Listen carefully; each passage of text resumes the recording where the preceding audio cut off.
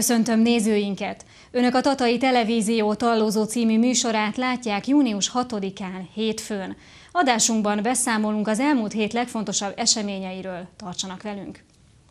Május 30-ai hétfői híradónkban összefoglalót láthattak a Patara eseményeiről, valamint Tata törökkori megszállásának eseményeit bemutató történelmi regényről is láthattak egy rövid beszámolót. Ugyancsak hétfői híradónkban mutattuk be, hogy játékos vetélkedőkkel ünnepelték a gyereknapot a Vaszariban.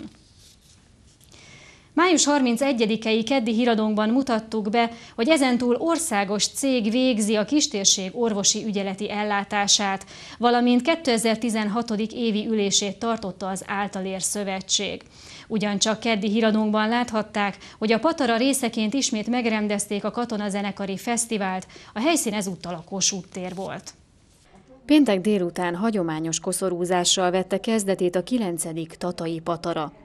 Európa legrangosabb törökkori történelmi fesztiválja töretlen népszerűségnek örvend a hazai és a külföldi hagyományőrzők körében is ám a festői környezetben megrendezett történelmi időutazás több szempontból is jelentős. A Magyarország legszebb építési törökséggel rendelkező város a gyönyörű környezetben, a Tatai tó partján egy fantasztikus vár, kastélyok, régi műemléképületek, polgárházak, templomok, tehát azért kisváros és kisváros között is van különbség.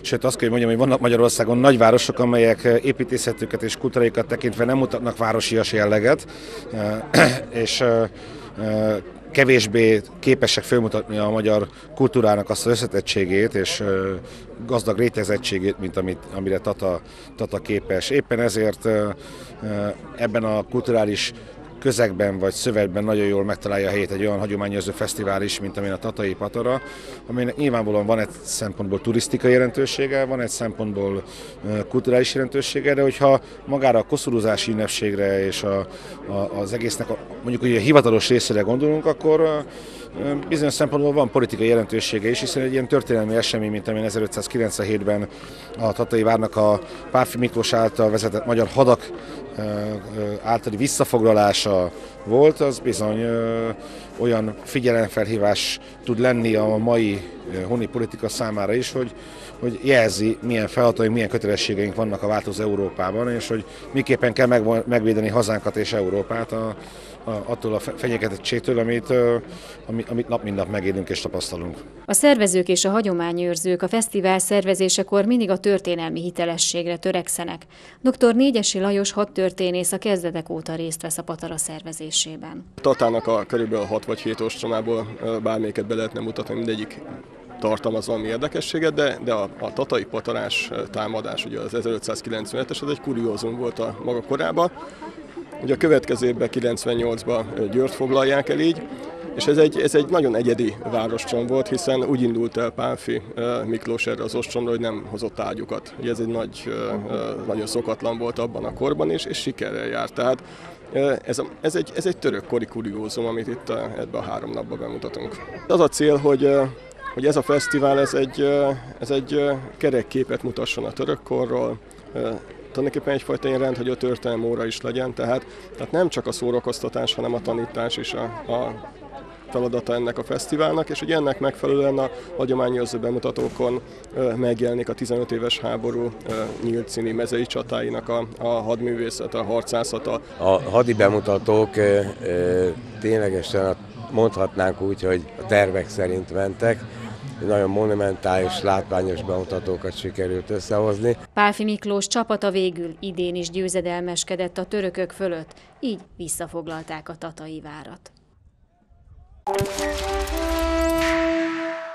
Még az első fejezetet is csak keveseknek volt lehetősége elolvasni, szinte a nyomdából érkezett a Tatai Patara című könyv sajtótájékoztatóval egybekötött bemutatóra.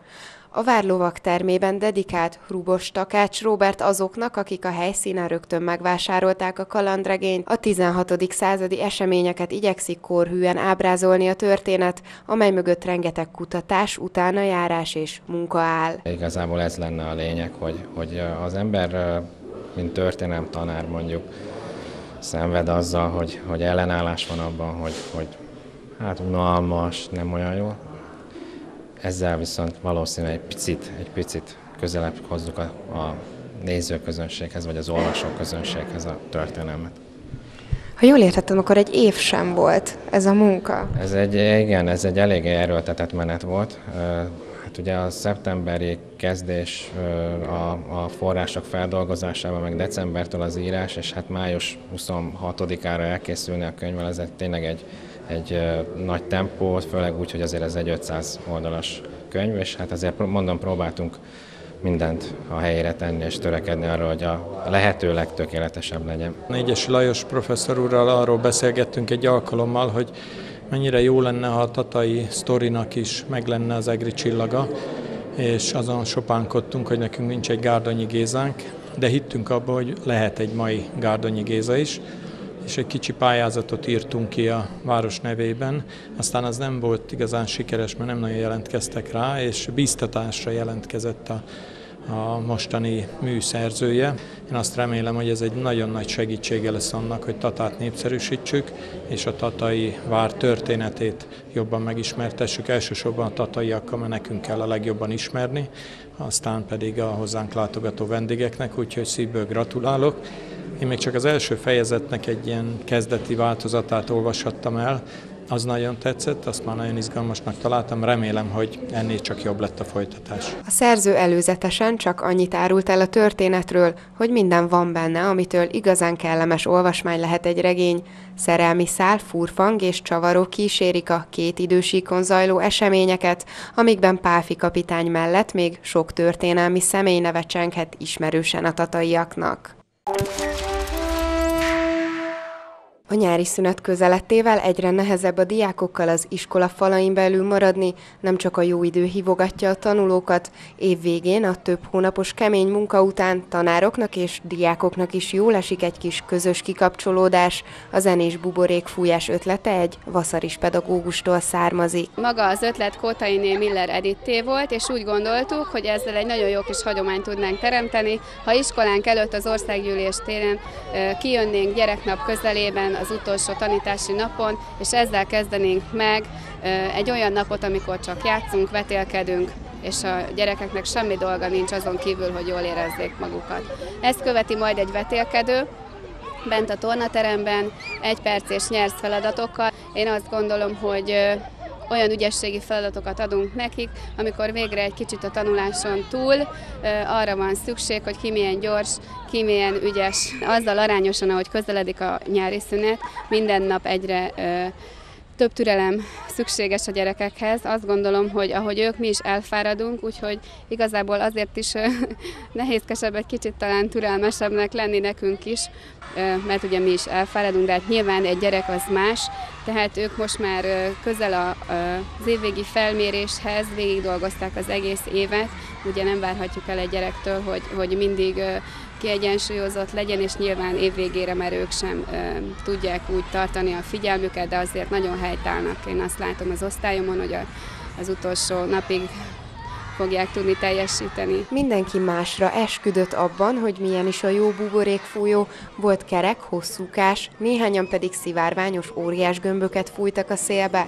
A különleges látványosságot sokan a járdán megállva figyelték, a gyerekek ezután vonultak a tornaterembe, ahol csapatokba sorakozva várták az osztályok az izgalmas ügyességi feladatokat. Ilyenkor már nagyon nehéz tanítani, jön a jó idős a nap, és a gyerekek már nem vágynak arra, hogy az osztályteremben legyenek, úgyhogy mi elég sok programot szervezünk emiatt nekik, hogy egy kicsit feldobjuk az év végét. Nagyon várják azok, akik már nagyobb osztályba járnak, ők már tudják, hogy ilyenkor évvégén nagyon sok program vár rájuk, úgyhogy igen, igen várják ezt az év végét minden szempontból. Még néhány felmérő van hátra, mielőtt a vaszarisok egy kis időre elbúcsúznak az iskolapattól, és a következő két és fél hónapa megérdemelt pihenésé.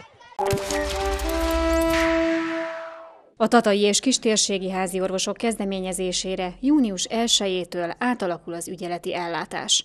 Tataváros önkormányzata pályázatot írt ki a sürgősségi orvosi ellátás megszervezésére, és egy budapesti székhelyű céggel meg is állapodott. Miután sajnos nagyon előregedett idős háziorvosi közösség van sajnos Tatán, és nagy-nagy köszönet nekik, hogy ilyen körülmények között is vállalják és teszik a dolgukat.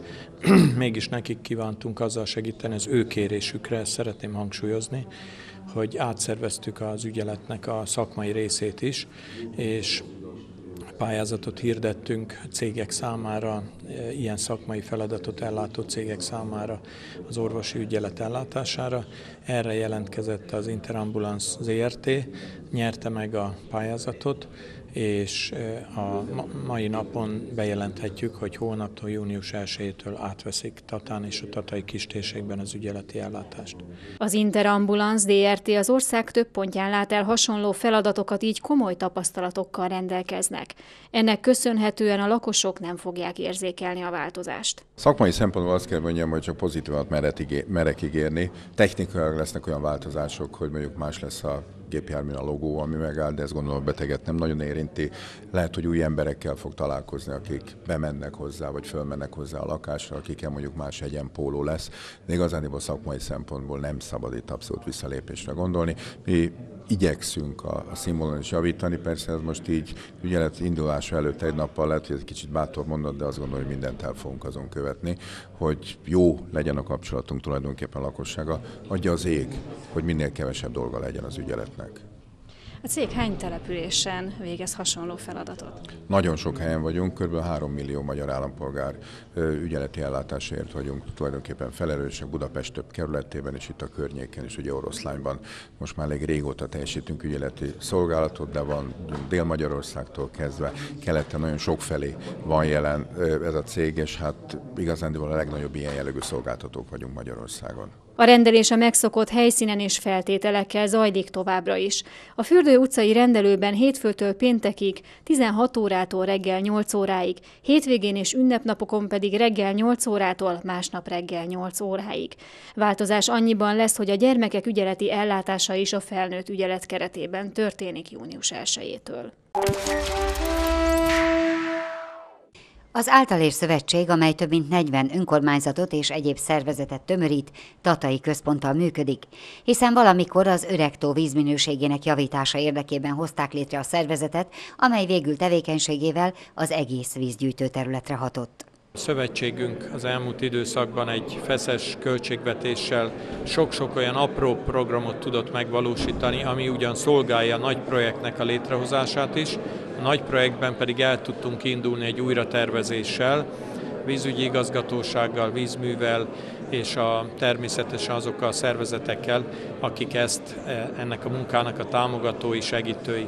Úgyhogy én azt remélem, hogy azért egy nagyon értékes esztendőnk volt az elmúlt év, például mondjuk, ha csak azt mondom, hogy a Tata Dunalmás kerékpárút út elkészült az általér mentén, ez már egy óriási előrelépés volt megint csak a Tata Tatabányai után, és ennek a munkának a folytatását az idei esztendőre is hasonló módon határoztuk el. A szövetség mind a feladatteljesítések, mind a pénzügyek területén kiegyensúlyozott évet zárt 2015-ben. Minden szempontból jónak mondanám, több szempontból mérföldkőnek is tekinthető, és gazdaságilag kiegyensúlyozott nagyjából, tehát hogyha a számok nyelvére fordítom, akkor a szokásos, azzal a 7-8 millió forinttal gazdálkodtunk, ami a különböző tagdíjbevételeinkből, pályázatainkból, támogatásokból adódik, és ebből igyekeztünk megteremteni azt a leginkább partneri együttműködést, aminek igazából mi magunk is köszönhetjük a legtöbbet. Az Általér Szövetség a maga nemében az első térségi vízgyűjtő terület rehabilitációra, fenntartható fejlődésre fókuszáló szervezet volt Magyarországon. Munkája kezdetektől példaértékű. Az indító civil szervezetek és azok képviselői itt vannak, tehát Music Laci fiatalemberként kezdte el titkárként, most programigazgató, tehát az Általér Szövetség szakmai igazgatójaként végzi ezt a munkát. Az önkormányzatok maradtak, vannak olyan polgármesterek, mint a Kecskédi polgármester, aki az elejétől kezdve Róber Zoli folyamatosan végig tudja kísérni a szövetség munkáját, hiszen ő azóta benne van.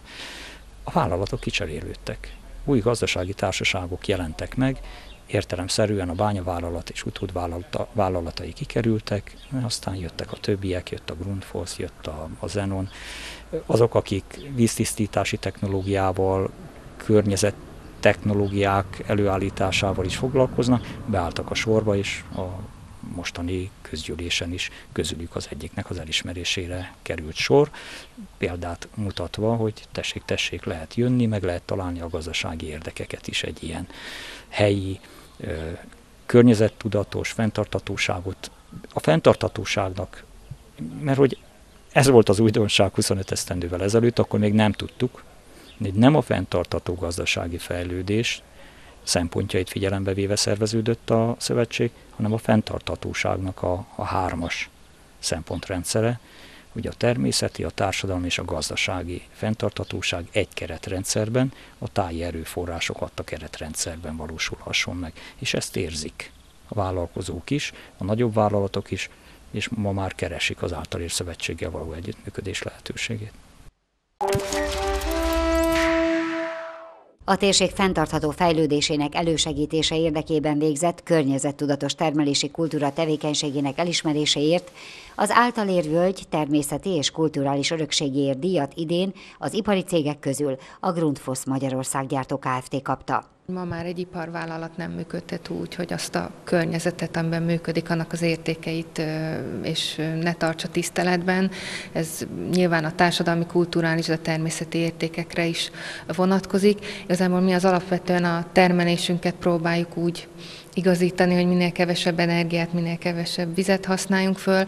Emellett dolgozóinkkal önkéntes munkában veszünk részt, próbáljuk őket motiválni mindenféle környezethez közeli szabadidős programok eltöltéséhez, illetve hát nagyon fontos nekünk az eljövendő generációknak a tudatformálása, és talán ez volt az, ami miatt leginkább a díjat kiérdemelhettük hogy már óvodás szintől kezdve próbáljuk a, a gyerekeket a környezettudatosságra, a vízfontosságára nevelni. Az idei másik díjazott a Happy Bike Kft.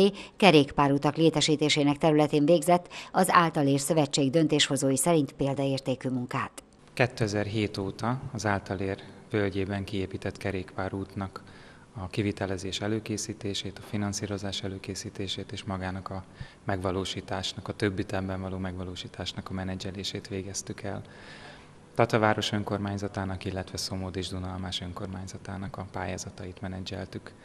Ez egy nagyon nagy elismerés. Az eddigi munkáinknak azt hiszem, hogy ez az egyik legfontosabb gyümölcs azon túl, hogy mi is nagyon szeretünk kerékpározni, de az, hogy az a közösség, aki itt lakik, és mi úgy terveztük, hogy ezt naponta néhány százan fogják használni ezt az utat, és ehhez képest ezres emberszám megfordul rajta a nagyobb forgalmú napokon, én azt gondolom, hogy ez a közösségnek az egyik legfontosabb beruházása volt az elmúlt években itt a térségben. Az idei két díjazottunk, és tőlünk teljesen független, tehát kívülálló, nem, nem tagja a szövetségnek, két olyan szervezet, akik viszont sokat tettek Ugye az egyik a kerékpározás kultúrájáért, a háttérmunkáért, a lobbyért, a tervezésért, a másik cég pedig a, a Tatabánya Ipari Parkban működik, viszont, viszont nagyon jó hírű az a nyitottság a civil szervezetek, a zöld gondolkodók felé, amivel a saját környezettudatos vállalati kultúrájukat is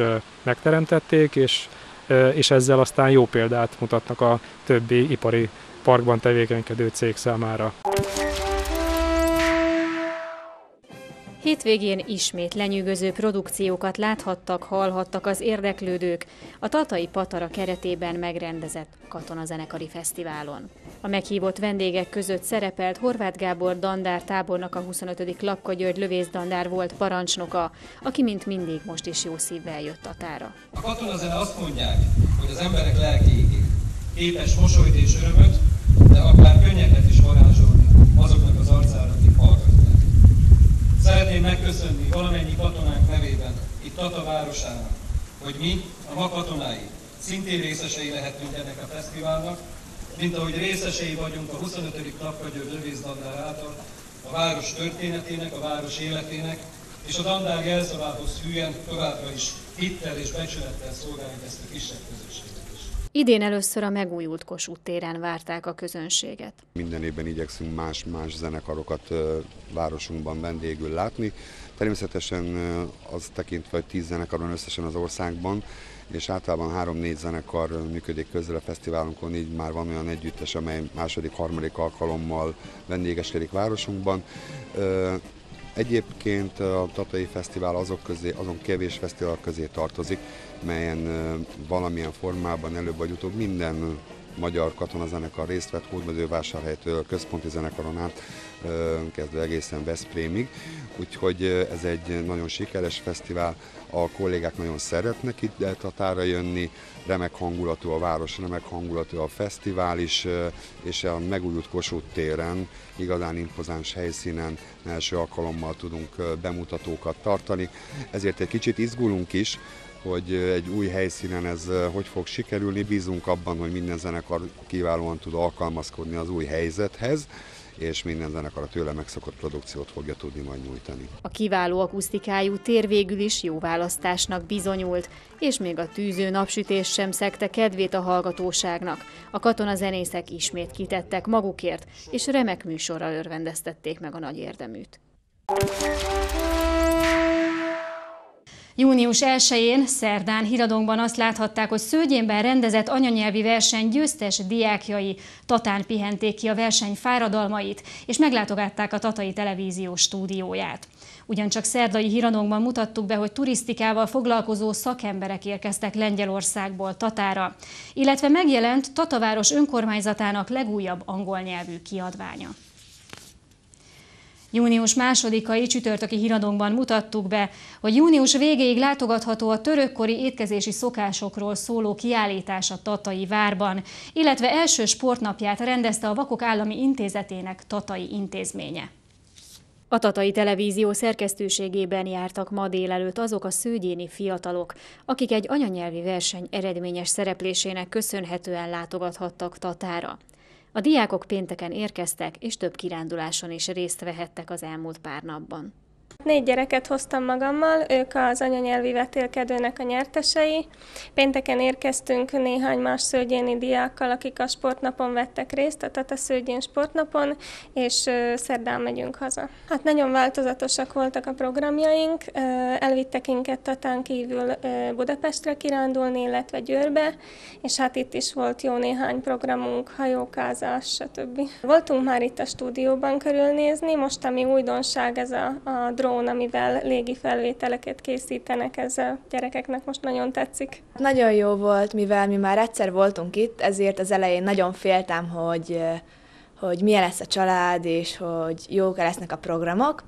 De kellemesen csalódtam, mert nagyon aranyosak voltak velünk, és sok érdekeset láttunk, voltunk Pesten is, és Győrbe is, úgyhogy nagyon tetszett most a drónt mutatták be nekünk, ami valami új fejlesztés, és nagyon érdekes, mert még ilyet soha nem láttam, és nem is hallottam róla, úgyhogy örültem, hogy bemutatták, és hogy nagyon szép képeket lehet vele csinálni, és nagyon jó volt.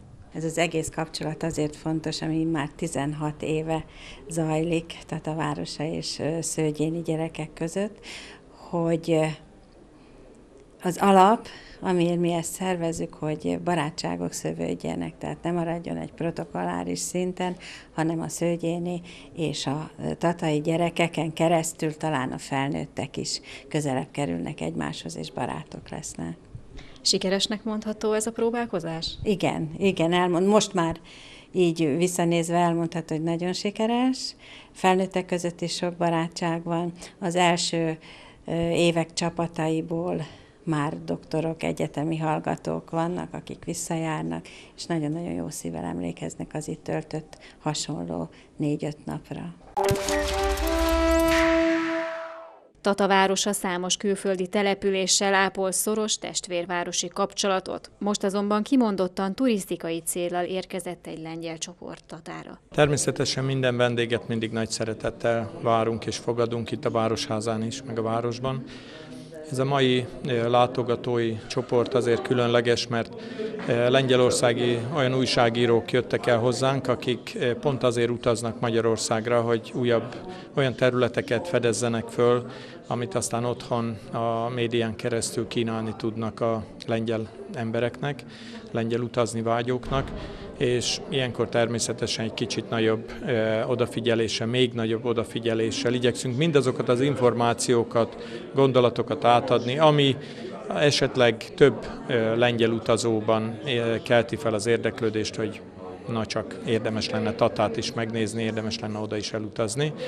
Reméljük, hogy úgy, ahogy a Patarán is nagyon sok külföldi vendégünk volt, továbbiakban is lesznek látogatóink, és szállodáink, az éttermeink, a helyi gasztronómia és a helyi vendéglátás örömére és a magasabb bevétel reményében sokan fognak hozzánk látogatni.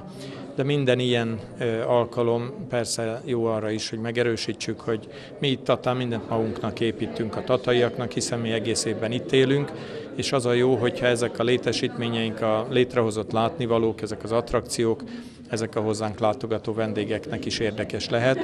Ennyiben törekszünk arra, hogy minél több turista jöjjön Tatára, de mi nem tudunk, meg nem is akarunk egy világ csodája lenni, mi a magunk csodája vagyunk, és ezt kell tovább építenünk, és ebben jók ez az ilyen vendégek és ilyen látogatók is. A lengyel csoport egyik tagja arról beszélt, hogy turisztikai és médiában dolgozó szakemberekkel együtt érkeztek Tatára. A Tatai Városkapu ZRT munkatársai számos érdekes programot szerveztek a delegációnak, amelyet később otthon Lengyelországban ajánlhatnak az embereknek. Borkostolót, városnézést szerveztek nekik. A gyönyörű környezet pedig tényleg elvarázsolta őket, hiszen Tata egy kis gyöngyszem, és óriási váltás a lengyel iparvárosok után. jedzonko, które jest znane, bo Węgry słyną z tego, że jest bardzo dobre jedzenie. Tak. A lengyel csoport a polgármesteri köszöntő után először egy rövid városnézésre indult, ami az impozáns Kossuth téren kezdődött. Lépések, koreográfiák, dalok és hangszeres produkciók a Kenderke Református Alapfokú Művészeti Iskola vizsga előadásán a szülőknek lehetőségük nyílt bepillantani abba a munkafolyamatba, amin a gyermekek és az ifjúsági táncosok egész évben dolgoztak. Ez egy ünnep, ez gyönyörűség a szülőnek. A szülők, akik itt évek óta látják a vizsga előadásainkat, egyrészt követik a saját gyermekük fejlődését, másrészt pedig, hogy mint az orgonasíp jönnek egymás után, nyilván a különböző korú csoportok a különbségeket is látják, azt is például, hogy jövőre mit várhatnak, milyen fejlődést, milyen előrelépést. Egyébként pedig azt gondolom, hogy minden iskola igényes a tekintetben, hogy szeretné megmutatni, hogy milyen munka folyik egész évben a falai között. Ez ennek az egyik lehetősége. A tanulók létszáma a 300 főt is meghaladja már, jegyeket évközben is kapnak, a vizsgára inkább úgy tekintenek, mint egy különleges bemutatóra, melyen lezárják a tanévet. Jól kell tudni táncolni, de igazából ezt nem vesszük ilyen szigorúan. Az osztályzás azok megtörténnek gyakorlatilag órai kereteken belül hanem ez egy örömtánc együtt. Mindenki ügyes, aki még időt tud szánni a sok-sok elfoglaltsága mellett ránk, és mindenki szívvel, lélekkel jön a színpadra. Az, hogy most ritmusra lépette vagy sem, azzal én nem foglalkozom. Mosolyogjanak és örüljenek, örüljenek a szülők a gyermekeknek, a gyermekek annak, hogy valamit tudtak produkálni. Nagyon sokat fejlődtek a gyerekek, de leginkább az a kedv és a hangulat az árulkodik arról, hogy nem csak szívesen csinálják, de akarják is, és számomra, mint pedagógusnak ez a legfontosabb. A gyönyörű csillagó szemeket látni, és az, hogy akarják és szeretnék csinálni. Most ezt össze kellene számolnom, hogy hány gyerekért izgulok, az összesért izgulok. Egytől egyig, talán nem kell neveznem őket név szerint, ellenben van körülbelül 10-20 gyermek, aki zenélni is fog, úgyhogy értük különösen izgulok, de nem kell izgulok, mert tudom azt, hogy mennyire ügyesek, ugyanis a próbákon és az órákon is azt az akaratot és azt a szeretetet, amit felém nyújtottak, mindenért kárpótol, úgyhogy igazából izgulnom nem kell, de természetesen izgulok értük. A színpadon alapfok egytől, vagyis harmadik osztálytól felfelé mutatkoztak be a diákok, minden évben bővül az a repertoár, amivel a vizsga előadáson találkozhatnak a szülők. Egy-egy anyag feldolgozása után a következő évben nehezednek a feladatok, és bővül az a tudásanyag is, amivel a kenderkések elkápráztatják közönségüket. 16.-17. századi, vagyis a törökkori korszak étkezési kultúráját mutatja be a Kunidomokos Múzeum időszaki kiállítása. A tárlat elkészítése egy több hónapig tartó hosszú folyamat volt, hiszen nem volt elég a leletanyagokat kiállítani.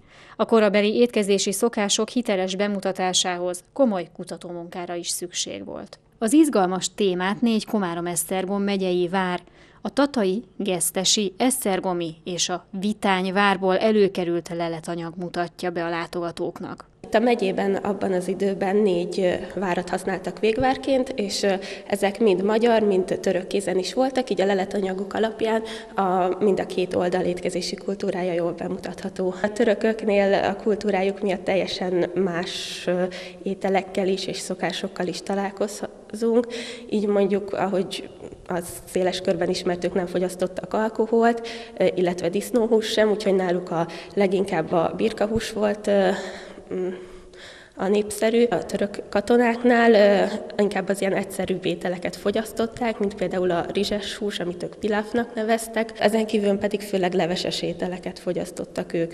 A magyar oldalon már ebben az időszakban a maiakhoz hasonló ételek megjelentek. Már a főzőedényekben is megfigyelhető különbség, például a törökök hozták be a tepsit, ahogy ők hívták tepszit, és tőlük vettük át mind az elnevezést, mind a formát, illetve ők általában bográcsban főztek ebben az időszakban, míg a magyaroknál a legelterjedtebb főzedény az a fazék volt már abban az időben is, illetve már akkor is használták a lábast.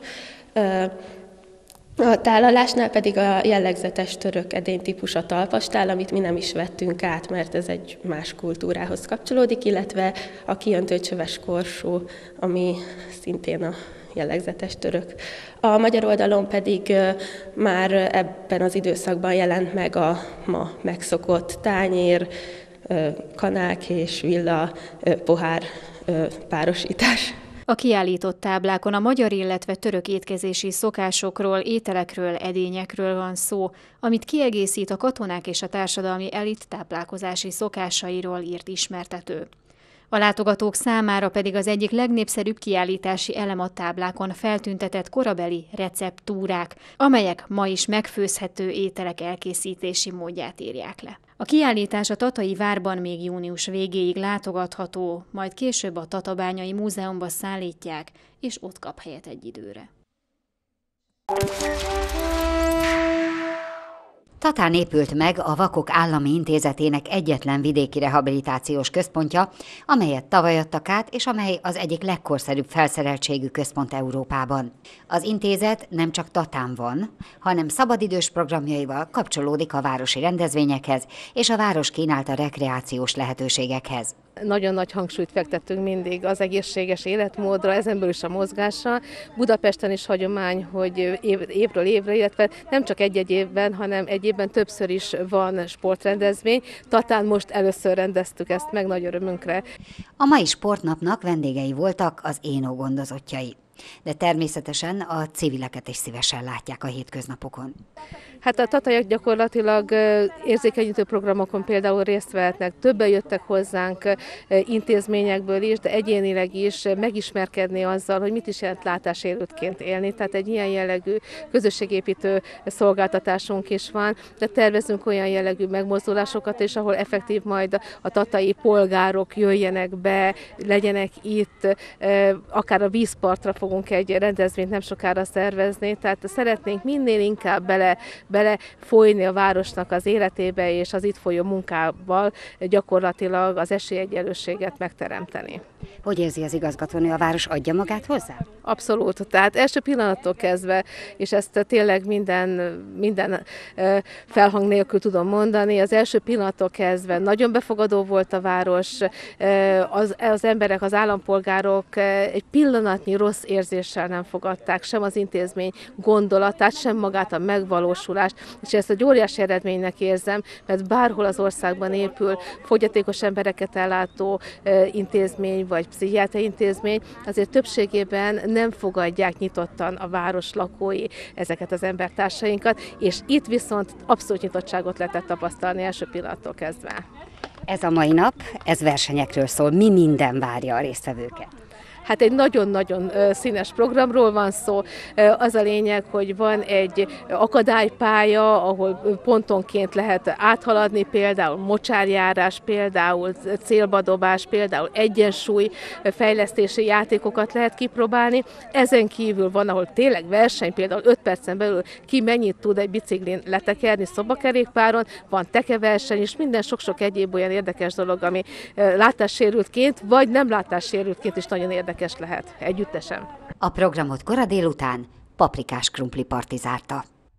Június 3-án, pénteken híradónkban pedig beszámoltunk arról, hogy pedagógus nap alkalmából a Magyari Zoltán Művelődési Központban köszöntötték a nevelőket, illetve előadásokkal kezdődött Tataváros önkormányzatának a Nemzeti Összetartozás napja alkalmából szervezett programsorozata.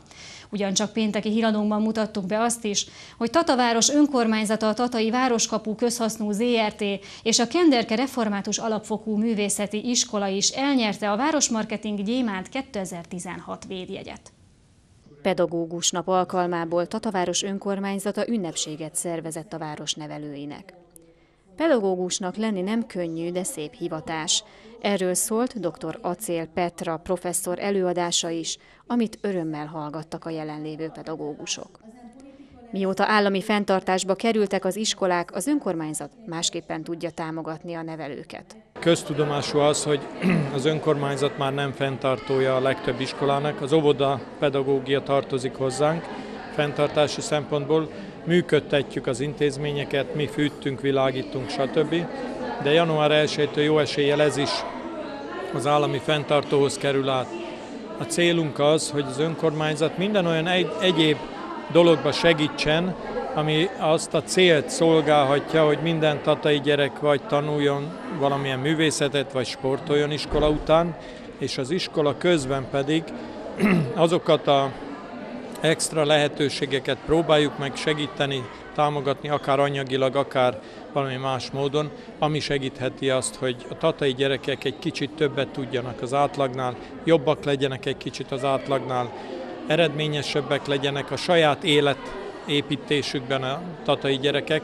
Tehát ezek azok, ami bennünket izgat, és azért tartom fontosnak, hogy minden pedagógus napon, de ne csak akkor, hanem egész évben hálával, köszönettel legyünk azok iránt, akik nagy odaadással, böcsülettel, tisztességgel végezték a munkájukat, a pedagógus szakmájukat, építették önmagukat, erősítették saját magukat lélekben, szívben, és mindez kisugárzott a munkájukra, nagy-nagy hála nekik ezért. Idén ketten vehették el Gyémán diplomájukat. Befejezése valaminek, ami nagyon szép volt, és nagyon hálás vagyok ezért az ünnepségért is, és elsősorban azért, hogy a Jóisten megengedte, hogy pedagógus legyek. Nem akartam pedagógus lenni. Azt mondják, hogy szigorú voltam, de arra azért büszke vagyok, ha ez így volt. és azt mondták a találkozón, mikor már látták, hogy nagyon lekonyul az orrom, de igazságos. és mindjárt jobban éreztem magam. Hát így volt, ennyi volt. Aztán nyugdíjba mentem. Nagyon jó érzés. Főképp azért, mert engem fiatal koromban már az orvosok elparentáltak, és ennyi évet nem gondoltam, hogy megérek. Ez az egyik a másik pedig azért jó érzés, mert úgy érzem, hogy viszonylagos jó egészségben meg tudtam érni ezt az időt. Jó szívvel gondolok vissza pedagógus éveimre. 14 éves korom óta pedagógus akartam lenni. Gyerekeket szerettem, és ez sok mindenen át segített. Azt hiszem, hogy kevés gyereknek volt velem úgy bajom, hogy az a csúnya tanár. A rendezvényen összesen 26 pedagógust köszöntöttek, köztük a két gyémánt diplomást. Rajtuk kívül 8-an aranydiplomát kaptak, és 16-an most kezdik nyugdíjas éveiket. A Nemzeti Összetartozás napját megelőzően Tataváros önkormányzata konferenciát szervezett, amelyen a külhoni magyar ifjúság helyzetéről volt szó. Nemzetstratégiai kérdésekről esik szó, a nemzetstratégiát pedig nem csak a nagy politika, hanem a helyi közösségek azok, amelyek valóra váltják, és itt a helyi közösségek szintjén megvalósuló nemzetstratégiai kérdésekről lesz szó. Nagyon fontosnak tartom azt, hogy az országhatáron belüli nemzeti összetartozásról is beszéljünk, ugyanis magát az országot nemzetiségek, nem, nemzetiségi, kisebbségi sorsban élő kisebbségek is alkotják több mint 11 nehány nemzetiségi, kisebbségi nemzetiségi önkormányzat működik országosan, és helyi szinten is Magyarországon. Hosszú-hosszú évszázados együttélésnek az eredményeként, és ennek a pozitív példái azok, amelyeket ki tudunk vetíteni az egész Kárpát-medencei térségre, amin keresztül, gyakorlati tapasztalatokon keresztül tudunk segítséget nyújtani a közvetlenül Magyarországgal határos, elszakított nemzetrészeken élők érdekérvényesítése, ha úgy tetszik, kulturális és gazdasági autonómiájának kiteljesítése érdekében. A konferencián Szász Jenő, a Nemzetstratégiai Kutatóintézet elnöke is előadást tartott. Külhomból érkeztem, és a, úgy szoktam mondani itt a munkatársaimnak, hogy vendégmunkás vagyok Budapesten. Ha a Nemzetegyesítésről beszélünk, és a Kárpáthaza programjáról a, a Nemzetstratégiai Kutatóintézetnek, akkor egy a haza ismét az I és gyulai gondolatok szerint. Fontos a testvérvárosi kapcsolatokban mindaz, amit tesztek, tisztelt polgármester úr, és ezt mi tiszta szívünkből köszönjük. De bátorításként mondom a, az otthoniaknak, tehát a külhoniaknak, Erdélyből, felvidékről, dél, délvidékről érkező testvéreinknek is, hogy az ő munkájuk, az ő jelenlétük az ő testvérkapcsolatuk, vagy a testvérkapcsolatnak a viszonzása legalább annyira fontos, mert mint ahogy itt Bali János igazgató előadásából is kiderült, a magyarság talán a legélénkebben az elszakított területeken él. Még ott a legerősebb a nemzeti, és miért ne a keresztény gyökerekhez való ragaszkodásunk. A programon részt vettek Tata határon túli magyar testvértelepüléseinek képviselői is. A Tatáról beérkező városmarketing pályázatok közül többet is elismerésre méltónak ítélt a Magyar Marketing Szövetség. Tataváros önkormányzata kiadványok Tatán 2015-ben elnevezésű pályázatával, a Városkapu ZRT pedig a Tataváros kártya nevű pályázatával a belső kommunikációs megoldások és tartalom kategóriában kapta meg a Városmarketing Gyémánt 2016 védjegyet. Nagyon büszke vagyok arra, hogy egy ilyen városban élhetünk, ahol 8 pályázatból 3 Gyémánt díjas eh, projektünk lett, és abból az egyiket az önkormányzat eh, fogalmazta meg az egyik pályázatot. Gratulálok szívből a Kenderkének, gratulálok szívből a Városkapu ZRT-nek is a díja, díjakhoz, a gyémánthoz, és a város pedig a kiadványaival, azokkal a tájékoztató kiadványaival nyerte el ezt a gyémánt díjat, amelyek témákról nem kötelező tájékoztatást adni. Tehát mi arra törekszünk, hogy a város lehetőség szerint tényleg minden témában valamilyen kiadványjal, vagy elektronikus médián, vagy interneten keresztül minden olyanról is tájékoztatást adjunk, amire azt gondolnák az emberek, hogy most miért érdekes ez e, kistérségünkről szóló kiadvány, vagy az adózóknak is. Mostantól egy e, e, önálló kis kiadványt teszünk be minden adófizetőnek, cégeknek, vállalkozásoknak a borítékjába, a levelébe, amiben visszaigazoljuk, visszacsatoljuk, hogy mire költöttük el az adó forintokat, és hogy milyen változások, milyen lehetőségek vannak a tatai helyi adózás rendjében. És hát a többi hasonló kiadvány is mind valamilyen ilyen jellegű plusz tevékenységet segít és támogat, úgyhogy nagy öröm az, hogy egy újabb marketingdíja nyert az a város, amelyiknek a mondhatom azt, hogy a hivatalban marketinges nem működik, mindegyikünk egyenként marketinges, mindegyikünknek egyenként a saját területét marketing vonalán is el kell tudnia jól adni, ugye ahogy szokták mondani, hogy legalábbis jól kell tudni képviselni, és ez önmagában marketing, vagyis nagyon-nagyon leegyszerűsítve, ha szeretjük a munkánkat, ennél jobb marketing nem kell.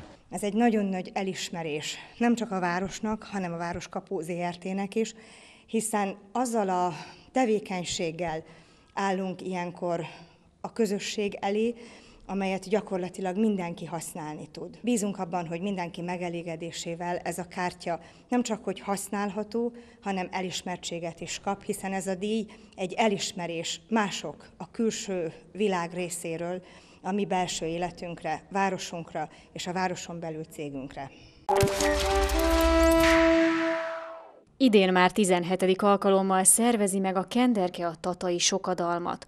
A nagy sikerű és népszerű fesztivál a napokban nyerte el a Városmarketing Gyémánt 2016 védjegyet a tatai rendezvények közül elsőként. Amikor írunk egy pályázatot, akkor az ember először csak a munkát érzékeli benne, de akármire kérdeznek rá, akármi a téma, mindig jó egy másfajta szempont szerint is átgondolni. Tehát magunk is meglepődtünk azon, amikor a média megjelenést így egy, egyeztetve, összesítve láttuk, illetve van még egy dolog, ami egy nagy vállalkozás volt, még a díj pályázat írásának megelőző idejében, hogy mi Eddig 20 nagy rendezvényt szerveztünk, 20 népművészeti fesztivált. Megjelentetünk ebben az évben egy füzetet, ami a 20 nagy rendezvényt mutatja be képekbe, illetve téma szerinti csoportosításba, hogy a tartalma mi a sokadalomnak. Mi ugye hagyományőrzők vagyunk, tehát bizonyos tartalmakat, témákat folyamatosan ö, működtetünk a sokadalomban, tehát ami, ami a sokadalomnak a lényege, hogy alapvetően a népművészetre épül, illetve a nép néptáncra. A népművészetnek minden területét szeretnénk bemutatni, és ahogy a plakátjainkon is olvasható, hogy nem csak hagyományőrzés, mert azért ezeknek a mai modern felfogás szerinti megjelenítésére is nagy figyelmet fordítunk, így aztán a koncertektől, az interaktív játszókon keresztül, a vásáron keresztül, és meseelőadásokon, felnőtteknek szóló előadásokon keresztül nagyon sok minden helyet kap, mint ahogy helyet kap minden városi óvoda, illetve iskola, aki szeretne élni ezzel a lehetőséggel, ez a diák színpad sorozat. A diák színpad mellett megjelenik a tolerancia színpad is, ahova idén is meghívást kapott az Énó. A háromnapos rendezvény június 17-én kezdődik, a belépés pedig továbbra is ingyenes mindenki számára. Június 6-án hétfőn önök a Tatai Televízió Tallózó című műsorát látták, amelyben beszámoltunk az elmúlt hét legfontosabb eseményeiről. Tallózóval legközelebb egy hét múlva jelentkezünk. Én köszönöm figyelmüket, további szép estét, viszontlátásra!